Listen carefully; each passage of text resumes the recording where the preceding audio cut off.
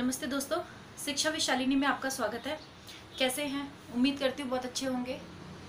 और जिन लोगों ने हमारे चैनल लाइक सब्सक्राइब नहीं किया है, वो प्लीज़ कर दें। तो दोस्तों, आज हम जो पढ़ने जा रहे हैं, वो पढ़ने जा रहे हैं उत्सर्जन तंत्र। तो उत्सर्जन तंत्र हम जो पढ़ने जा रहे हैं तो उससे पहले हम कुछ बात करते हैं, जानते हैं उत्सर्जन तंत्र के बारे में। तो क्या है उत्सर्जन तंत्र क्या है? क्योंकि देखिए, हमारे शरीर जो चल रहा है, वो हमारा शरीर चल रहा है ऊर्जा से, ठीक है? और उस ऊर्जा को लेने के लिए हमें लेना होता है भोजन और श्वसन, ठीक है? जो हमने दो तंत्र पहले पढ़े हैं, भोजन तंत्र से भोजन किया, श्वसन तंत्र से श्वसन किया, वो दोनों कोशिका के पास गए और कोशिका ने ऊर्जा बना ली और अपना काम चल गया। देखिए जब भी कोई क्रिया होती है इस दुनिया में घटना में ज़िंदगी में तो उसकी कुछ आ, अच्छी चीज़ें आती हैं। उसमें से जो हमें चाहिए वो हमने ले लिया। उसके बाद जो नहीं चाहिए होता है वो हमें बाहर हटाना होता है। ठीक है अगर हमने वो बाहर नहीं हटाया तो वो हमारे शरीर में रह जाएगा और जब वो शरीर में रह जाएगा तो हमारे शरीर के लिए वो अत्यंत ही हानिकारक होता है। तो क्या हुआ कि भोजन और ऑक्सीजन अंदर गई कोशिका ने ऊर्जा बना ली उस ऊर्जा को तो शरीर ने काम में ले लिया, लेकिन जो बचे हुए पदार्थ हैं, जो बेकार के पदार्थ हैं, उन्हें हमें शरीर के बाहर फेंकना है। अब देखिए, वो शरीर के बाहर फेंकने के हमारे पास कुछ मेथड है। सबसे पहले कार्बन डाइऑक्साइड हमारा बनता है, बेकार का पदार्थ है, जो हमें नहीं चाहिए। तो वो हम दे देते हैं फेफड़ों को, और वो फेफड़े उसे बाहर निकाल देते हैं, हमें नहीं चाहिए। इसके बाद कुछ और पदार्थ बन रहे हैं। इनमें से जितने भी याद रह जाए, ठीक है?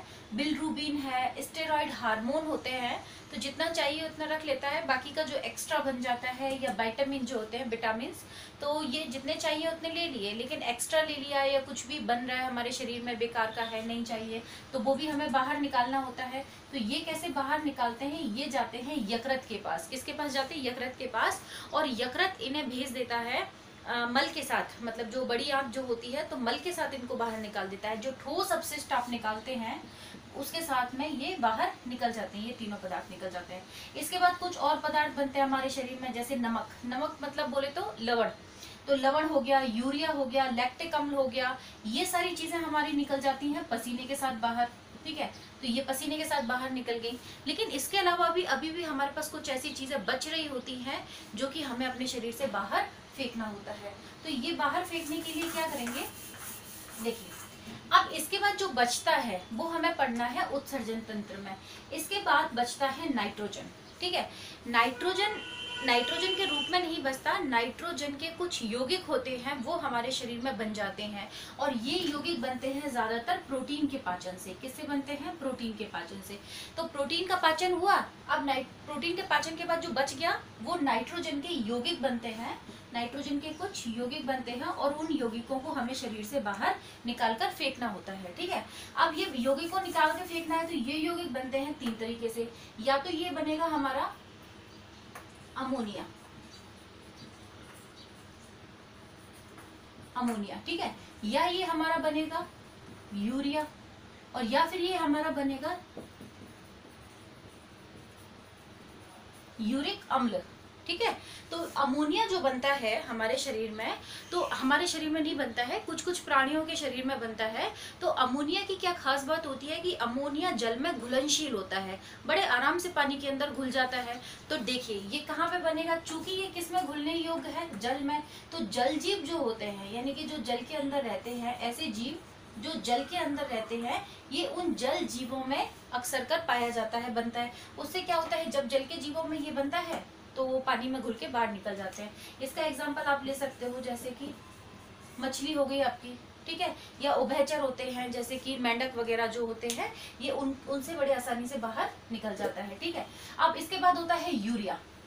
ये थोड़ा सा इंपॉर्टेंट क्यों है? क्योंकि ये बनता है स्तनधारी में ये पानी में पूर्णतः घुलनशील नहीं होता है, लेकिन थोड़ा थोड़ा पानी में घुलनशील हो जाता है। तो जैसे स्तनधारी जितने होते हैं या फिर समुद्र में रहने वाली मछलियाँ जलजी मैंने यहाँ लिखा है, लेकिन समुद्र में रहने वाली मछलियों में यूरिया बनता है, और ये क्या होता है, ये बाहर निकाला जाता है ब्रक के माध्यम से, यानी कि जो हम उत्सर्जन तंत्र पढ़ने जा रहे हैं, वो इसी के खातिर पड़ेंगे क्योंकि ये स्तनधारियों में पाया जाता है।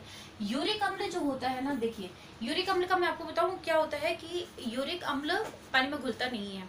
तो यूरिक अम्ल जब पानी में नहीं घुलता तो आपने देखा होगा चिड़िया वगैरह, पक्षी जो होते हैं या फिर छिपकली वगैरह होती है, ये कभी भी यूरिन नहीं करते टॉयलेट नहीं करते हैं। तो ये क्या होता है, जो यूरिक अम्ल होता है ना वो घुलता है घुलता नहीं है तो ये ना पेस्ट जैसा या फिर गोलिकाएँ जैसा, गोलिकाएँ मतलब ठोस जैसा कुछ बनाते हैं और ये शरीर के बाहर निकालते हैं। ठीक है तो ये ज़्यादातर किसमें पाया जाता है? पक्षी में। आपको सिर्फ़ एग्ज़ाम्पल याद रखना है, इससे ज़्यादा कुछ नहीं याद रखना है, ठीक है? तो अपने को पढ़ना है मेन यूरिया यानी कि ये जो यूरिया युक्त पदार्थ है, उनको शरीर से बाहर कैसे निकालना है, ठीक है? देखिए ये पदार्थ बाहर निकालने के लिए एक पूरा उत्सर्जन तंत्र होता है। अब उस उत्सर्जन तंत्र में चार चीज़ें होती हैं। यानी कि अगर हम यहाँ पे बात करें, उत्सर्जन तंत्र तो इसके कितने भाग होंगे हमारे? चार भाग। पहला भाग होगा ब्रक। शायद आपको दिख नहीं रहा होगा, एक मिनट रुकिए। मैं बोलती जाती हूँ जब तक आप सुनिएगा। उत्सर्जन तंत्र होता है, उत्सर्जन तंत्र के हमारे चार भाग होते हैं। ब्रक ब्रक के बाद आएँगे मूत्र बाहिना, बाहिनिया। वाहिनिया मतलब मूत्र को ले जाने वाले। उसके बाद आता है मूत्राशय, जिसके अंदर मूत्र इकट्ठा हो जाता है। तो ये तीन भाग हो गए और चौथा भाग होता है मूत्र मार्ग मूत्र मार्ग होता है यानी कि जहाँ से मूत्र बाहर निकाल दिया जाता है, ठीक है? तो ऐसे चार भाग होते हैं आपके शरीर में, जो कि इसका काम करते हैं। अच्छा अभी उत्सर्जन तंत्र में जो हम चीज़ें पढ़ने वाले हैं, वो पढ़ने वाले हैं कि एक तो इसका स्ट्रक्चर यानी कि स्ट्रक्चर बोले तो संरचना संरचना कैसी होगी, ठीक है? तो एक तो हम देखेंगे कि इनकी संरचना कैसी होगी और ये काम कैसे करेंगे। इसका प्रोसेस क्या है जिसके थ्रू ये मूत्र बाहर निकालेंगे। तो उत्सर्जन तंत्र में हमने सबसे पहले देखा ब्रक ब्रक के बाद मैं लिखवा देती हूँ। मूत्र वाहिनिया। फिर आता है मूत्र मार्ग। और लास्ट में आता है मूत्राशय, ठीक है? तो ये तो हो गया, आपने लिख लिया होगा। या स्क्रीनशॉट ले लीजिए। इसके बाद देखते हैं इसका स्ट्रक्चर कैसा होता है। इसका स्ट्रक्चर ऐसा होता है कि जो ब्रक होते हैं ना, वो कुछ ऐसे होते हैं। आपने सेम की फली देखी होगी? वैसा होता है। ये लीजिए, ठीक है? इस तरीके से दो ब्रक होते हैं। हमारे शरीर में कितने ब्रक होते हैं? दो। अब दो ब्रक होते हैं, उसके बाद क्या होता है? ये ब्रक के अंदर, पहले तो रक्त आता है। रक्त क्यों आएगा? क्योंकि रक्त के अंदर वो अमोनिया वाले पदार्थ है जिन्हें हमें शरीर के बाहर निकालना है। तो वो रक्त इसके अंदर एंटर करेगा। यहाँ पे उसका कुछ प्रोसेस होगी, कुछ क्रिया होगी।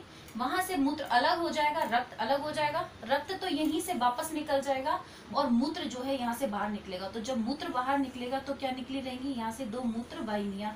जब ये दो मूत्र वाहिनिया मतलब एक इधर से और एक इधर से। ये लीजिए। निकल गई बाहर। अब ये दोनों मूत्र वाहिनियाँ क्या करती हैं? एक संरचना होती है कुछ ऐसी। आई होप कि आपको दिख रहा होगा। एक ऐसी संरचना होती है, इसके अंदर आके इकट्ठी हो जाती हैं। तो ये तो हो गए ब्रक ये हो गई मूत्र वाहिनिया और ये होता है आपका मूत्राशय। मूत्राशय में क्या होता है? मूत्र आके इकट्ठा हो जाता है। जब ये मूत्र यहाँ इकट्ठा हो जाता है तो यही रहता है। जब आपकी, जब आपको लगता है कि प्रेशर मतलब लाइक बहुत सारा मूत्र इकट्ठा हो गया है तो आपको महसूस होने लग जाता है, और इस मूत्र मार्ग के माध्यम से वो बाहर निकाल कर फेंक दिया जाता है। अब यहाँ पे आप एक चीज़ और देखिएगा। मैंने बोला था कि यहाँ से रक्त आता है। और वो यहाँ पे छन जाता है, छानने की प्रोसेस होती है। जब यहाँ पे आता है तो आने के लिए यहाँ पे दो रक्त नलिकाएँ होती हैं। ये देखिए, रक्त वाहिनी है, जो हमने पहले पढ़ी थी, रक्त वाहिनी है। एक रक्त वाहिनी ऐसी होती है जिसमें से अशुद्ध रक्त आता है, वो इसके अंदर एंटर कर गया। सपोज़ करते हैं, मैं इसको चूँकि ये गंदा रक्त है, इसलिए मैं इसको ऐसे ब्लैक कलर से ही बना रही हूँ तो यहाँ भी निकलेगी और इस तरफ़ भी जाएगी। हम उस तरफ़ का नहीं बनाएँगे, वरना चित्र बहुत कॉम्प्लिकेटेड हो जाएगा। तो ये यहाँ से आएगी और यहाँ से आके इसके अंदर ब्रक के अंदर चली जाएगी। और दूसरी होती है कि यहीं से एक और निकलती है, ये लीजिए। यहाँ से निकलती है दूसरी वाली। तो दूसरी वाली कैसे निकलती है? इन सबको क्रॉस करके जाती है, ये देखिए। इसमें से क्या होगा शुद्ध रक्त जाएगा और वापस इसमें। यानी कि इसमें से रक्त आ रहा है और इसमें से रक्त जा रहा है। तो इसके अंदर हमारा है अशुद्ध और इसके अंदर है हमारा शुद्ध। ठीक है? तो इसके अंदर शुद्ध रक्त हो गया। तो यहाँ तक की तो ये संरचना है। आप चाहें तो इनके नाम भी लिख लीजिए। ब्रक हो गया। मूत्रवाहिनी। मूत्राशय। मूत्रमार्ग ठीक है? अब ये जो जगह है जहाँ पर कि ये सारी मैं थोड़ा सा यहाँ रब करना चाहूँगी ताकि ये अपने को क्लियर दिख जाए। यहाँ पे एक छोटी सी खांच होती है।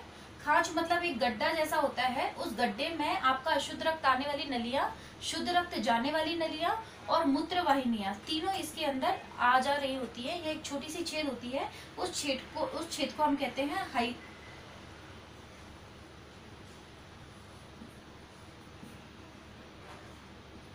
हाइलम। उस क्षेत्र को हम क्या कहते हैं? हाइलम। तो ये हाइलम नामक एक जगह होती है जहाँ से ये अंदर आ जाता है। अब देखिए, जब ये अंदर आ गए, वो तो कोई बात नहीं है। अब इसके अंदर की एक संरचना होती है, जैसे ये होता है ना, तरबूज होता है ना, तरबूज? तो तरबूज में आपने देखा, ऊपर ग्रीन कलर का छिलका होता है, उसके अंदर व्हाइट कलर का एक सेफ़ जगह होती है, ठीक है? एक व्हाइट कलर की जगह होती है। तो समझ लो कुछ ये व्हाइट कलर की उस तरीके की जगह है, जिसे बलकुट कहा जाता है। क्या कहते हैं? बलकुट, ठीक है? बलकुट के बाद एक संरचना होती है जैसे संतरे के कलियाँ नहीं होती हैं? संतरे की कलियाँ। कुछ ऐसी संरचना होती है जिन्हें हम कहते हैं मध्यांश। ये लीजिए। ठीक है? तो हुआ क्या? ये सारी नलियाँ जहाँ से एंटर करी थी, उन्हें हाइलम कहा। एक संरचना बाहर मोटा मोटा ऐसी संरचना होती है जैसे तरबूज में व्हाइट कलर का होता है बाहर तो उसे हम कहते हैं बलकुट ठीक है? उसके अंदर जो रेड वाला भाग होता है, उस रेड वाले भाग की जगह हम मान लेते हैं जैसे संतरे की जो कलियाँ होती हैं, वैसी एक संरचना होती है जिसे मध्यांश कह दिया ठीक है? अब क्या होता है, मध्यांश के अंदर भी छोटी छोटी छोटी छोटी कई सारी इकाइयाँ होती हैं, बहुत सारी बहुत सारी इकाइयाँ होती हैं, जिन्हें कहा जाता है नेफ्रॉन। जिन्हें क्या कहेंगे हम? नेफ्रॉन। तो देखिए, पहली बात तो ये कि नेफ्रॉन क्या है, और दूसरी बात ये कि ये नेफ्रॉन बहुत ज़्यादा इंपॉर्टेंट है, सबसे ज़्यादा बात पूछा जाता है कि नेफ्रॉन क्या है। तो नेफ्रॉन इस वृक की वो सबसे छोटी इकाई है जहाँ से रक्त वास्तव में छाना जाता है। अभी तक तो क्या हो रहा है? बस आ रहा है, जा रहा है। लेकिन आखिरकार छन कैसे रहा है वो? ऐसा कैसा हो रहा है उसमें से, रक्त में से, कि हमने जो हमारे यूरिया था यहाँ पे सेकंड नंबर पे, उस यूरिया को अलग कर दिया। तो वो किसने अलग किया? वो नेफ्रॉन ने अलग किया। तो नेफ्रॉन की संरचना और उसका काम। वो हमें समझना इंपॉर्टेंट है। तो अभी हम देखते हैं, बाकी ये सब आपको आई होप समझ में आ गया होगा। अब हमें मेन पढ़ना है कि नेफ्रॉन ऐसा नेफ्रॉन क्या करता है, जिसके माध्यम से ये पूरी प्रोसेस हो जाती है? एक छोटी चीज़ और समझ ले, जो हमारे सबसे लास्ट में काम आएगी कि जब ये नेफ्रॉन छान देता है तो छानने के बाद वो सारा का सारा ये मूत्र वाहिनी से निकल के इसमें चला जाता है। तो लास्ट में मैं नहीं बताऊँगी दोबारा से, आपको सिर्फ़ नेफ्रॉन बताऊँगी कि नेफ्रॉन ने कैसे वो सारा सामान बाहर निकाल के इसमें डाल दिया मूत्र वाहिनी में, और वो मूत्राशय तक पहुँच गया। तो देखते हैं नेफ्रॉन के बारे में।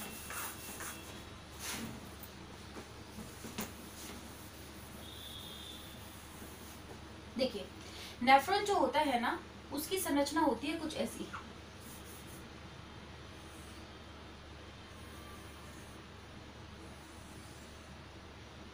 दोस्तों, ये वीडियो थोड़ा सा लंबा होगा, पर मैं नहीं चाहती कि आपको दो या तीन वीडियोस में जाके मैं ये खत्म करूँ। ये हम एक ही वीडियो में खत्म करेंगे। थोड़ा सा पेशेंस रखिएगा।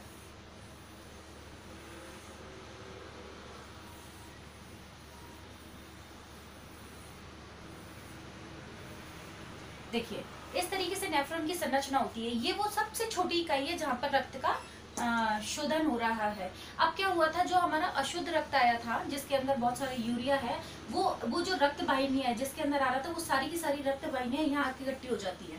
ठीक है? ये देखिए। अब पहले तो देखते हैं ये है क्या। सबसे पहले तो ये है, इसको कहा जाता है बलकुट।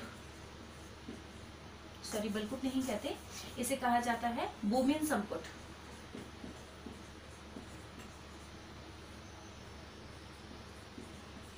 बलकुट क्या होता है? वो जो बाहर वाला था ना व्हाइट वाला, उसे कहते हैं। इसे कहते हैं बोमिन संपुट। बोमिन संपुट हो गया ये वाला भाग अब बोमिन संपुट के ऊपर रक्त की भाइनियाँ आके जमा हो जाती हैं। जैसे मैं आपको बताऊँ, चाय की छलनी होती है तो चाय की छलनी में आप चाय डालते हो तो पेन से आपने चाय डाली तो वो ऊपर क्या रह जाता है उसमें? चाय पत्ती रह जाती है, नीचे चाय निकल जाती है। वैसे समझो कि एक तरीके से छलनी है ये। तो ये छलनी है, इसमें रक्त की वाहिनी आ गई और ये अपना पूरा रक्त यहाँ से छोड़ देंगी। ये पूरा रक्त जब यहाँ छोड़ देंगी तो सारा का सारा रक्त किसके अंदर आ जाएगा? इसके अंदर आ जाएगा। लेकिन वो रक्त में आपका रक्त भी होगा, बिल्कुल होगा ठीक है, रक्त के अलावा आपका यूरिया होगा, बिल्कुल होगा। यूरिया के अलावा लवण होंगे, लवण यानी कि आयन कह सकते हो आप उनको। तो ये सारी चीज़ें और थोड़ा बहुत ग्लूकोज भी हो सकता है, क्योंकि रक्त के अंदर हमेशा ग्लूकोज रहता ही है तो ग्लूकोज भी होगा। तो ये सारी चीज़ें इसके अंदर आ गई। ये सारी चीज़ें इसके अंदर आने के बाद क्या होता है? अच्छा ये जो गुच्छा बनाया था ना हमने, इस गुच्छे का भी एक नाम होता है, गिलो मेरू लस। फिर से बोलूँगी गिलो मेरू लस अब क्या होता है कि जब गिलो मेरू लस में से सारा रक्त नीचे निकाल दिया तो ये रक्त भर गया इसके अंदर। इसके अंदर भर गया तो इसके अंदर था ग्लूकोज, रक्त, यूरिया और लवण। इसमें से क्या हुआ, जब ये आगे बढ़ने लग जाता है तो बढ़ने लगता है तो समझो कि यहाँ छोटे छोटे छेद बने हुए होते हैं, ठीक है? इसमें। और इसके पास में से रक्त की वाहिनियाँ निकल रही होती हैं। तो क्या होता है, ये छोटे छोटे छेद में से रक्त, शुद्ध रक्त तो निकल निकल के इसमें बाहर आ जाता है। देखो, चाय की जो छलनी होती है ना आप ऐसा करो, जो गेहूँ छालने वाली, मोटे छेद वाली जो चलनी होती है ना, उसमें से चाय छान के देखो। क्या होगा? चाय की चाय के साथ में उसके जो चाय पत्ती होती है ना, वो भी बाहर निकल जाएगी। तो छेद कितने बड़े होने चाहिए कि चाय तो निकल जाए, लेकिन चाय पत्ती बाहर ना निकले? तो ऐसे ये जो छेद बने हुए हैं ना, जिनमें से रक्त बाहर निकलता है, मैं आपको यहाँ बना के दिखाती हूँ अलग से। ये वाली पाइप को हमने मोटा कर दिया तो यहाँ ऐसे छोटे छोटे छेद बने होते हैं। अब ये छेद इतने बड़े होते हैं कि इसमें से रक्त तो बाहर निकल जाता है। लवण भी बाहर निकल जाता है, ग्लूकोज भी बाहर निकल जाता है, पर यूरिया बाहर नहीं निकल पाता। ठीक है? तो वो यूरिया कहाँ रह गया? इसके अंदर। और बाकी सारी चीज़ें निकल गई बाहर। बाहर बह रही होती है बाइकाएँ बाहिकाएँ ये वाली बाहिकाएँ, रक्त बाहिकाएँ। तो रक्त बाहिकाओं के अंदर वो जल्दी से जैसे बाहर निकलती है ना, वो रक्त बाहिकाएँ सारा का सारा, रक्त, ग्लूकोज लवण, जो भी उसके काम की चीज़ है, वो तो वापस ले लेता है और यूरिया वही पाइप के अंदर ही रह जाता है। तो ये यूरिया आगे बढ़ते बढ़ते बढ़ते बढ़ते इस तरीके से जाता है। अच्छा देखिए, जब इसकी संरचना बनाएँगे तो ये तो सब छोटा छोटा बनाइएगा, एक ऐसे बड़ा बनाइएगा। ये जो बड़ा वाला भाग होता है ना, इसे कहते हैं हेन ले लूप। ठीक है? हेन ले लूप। ठीक है? तो ये इस तरीके से होता है और चलते चलते क्या हुआ? जब पूरा यहाँ तक आया, तब तक सारा का सारा रक्त, ग्लूकोज सब छन गया और लास्ट में बच गया यूरिया। और वो सारा का सारा यूरिया चला जाता है इस पाइप के अंदर। और ये पाइप पता है आपको कौन सा वाला पाइप है?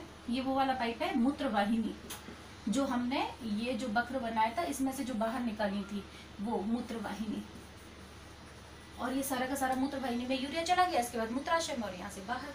तो ये आई होप कि समझ में आ गया होगा, ये तीनों हमारे काम की चीज़ थी। सॉरी यूरिया नहीं था। सिर्फ़ यूरिया को छोड़ के बाकी ये तीनों चीज़ें यहाँ से बाहर निकल जाती हैं। अब ये तो आ गया होगा आपको समझ में। बताना मुझे। मैसेज करके आप मैसेज करते रहा करें। मुझे पता चलेगा तो मुझे मज़ा आता है। मतलब लाइक मुझे अच्छा लगता है कि मैं पढ़ा रही हूँ, आपको समझ में आ रहा है और मुझे और अच्छा लगता है कि मैं और अच्छे से समझाऊँ। इसलिए आज मैं बहुत आराम से समझा रही हूँ, समझने की कोशिश करते रहना। एक चीज़ और बताऊँगी मैं आपको, यहाँ पे। आपसे मैं एक चीज़ देखिएगा जो हमने लास्ट वीडियो पढ़ा था 2.6 या 2.7 था आई थिंक तो उसमें हमने हृदय पढ़ा था। तो हृदय में हमने एक अपवाद देखा था फुप्पुस धमनी और फुप्पुस सिरा। फुप्पुस धमनी और फुप्पुस सिरा। दो चीज़ें देखी थी। देखो, धमनी में शुद्ध रक्त बहता है, शिरा में अशुद्ध बहता है, लेकिन फुप्पुस धमनी अपवाद थी, इसमें हमारा अशुद्ध रक्त बहता था। कौन सा? अशुद्ध। और शिरा वाला जो था, उसमें शुद्ध रक्त बहता था। ये किसकी बात कर रहे हैं? फुप्पुस की बात कर रहे हैं। सेम होता है,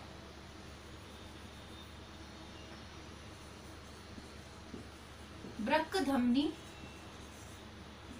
और ब्रक शिरा में। ये ब्रक धमनी और ब्रक शिरा क्या होती है? आपने देखा जब हमने ये वाला चित्र बनाया था, ये बाहर निकाल के तो हमने यहाँ पे दो पाइप बनाए थे। एक में अशुद्ध रक्त आ रहा था और एक में से शुद्ध रक्त जा रहा था। तो जिसमें अशुद्ध रक्त होता है, उसे तो कहते हैं अशुद्ध वाले को धमनी ये किसको कहते हैं? अशुद्ध वाले को। तो यानी कि वो नलियाँ जिसके अंदर से अशुद्ध रक्त ब्रक के अंदर आ रहा था, वो तो हो गई ब्रक, ये ब्रक धमनी। और जहाँ से शुद्ध रक्त, जो छन्ने के बाद, ये जो हमारा है ना, इसमें से छान छान के बाहर निकाल रहे थे। तो ब्रक शिरा छन्ने के बाद जो बचता है, उसे कहा, उसमें से निकलता है शुद्ध शुद्ध रक्त जिसमें प्रवाहित होता है, उसे कहते हैं ब्रक शिरा। ठीक है? तो ये हमारा ब्रक शिरा हो गया। तो ये अपवाद है। एक ये अपवाद है और एक फुप्पुस धमनी और फुप्पुस सिरा अपवाद है। तो आप इन दोनों चीज़ों को देख लीजिए। क्योंकि ये दोनों थोड़े अपवाद हैं तो कंफ्यूज कर देते हैं। बाकी ये था आपका उत्सर्जन तंत्र और इस तरीके से मूत्र के माध्यम से हम अपने यूरिया को बाहर निकाल देते हैं। ये एक ऐच्छिक प्रक्रिया है। आप इच्छा के अनुसार इसे बाहर निकालते हैं, अपने आप नहीं निकलता है, ठीक है? तो ये था हमारा उत्सर्जन तंत्र। प्लीज़ बताइएगा मुझे कैसा लगा और लाइक और सब्सक्राइब ज़रूर कीजिएगा। बाय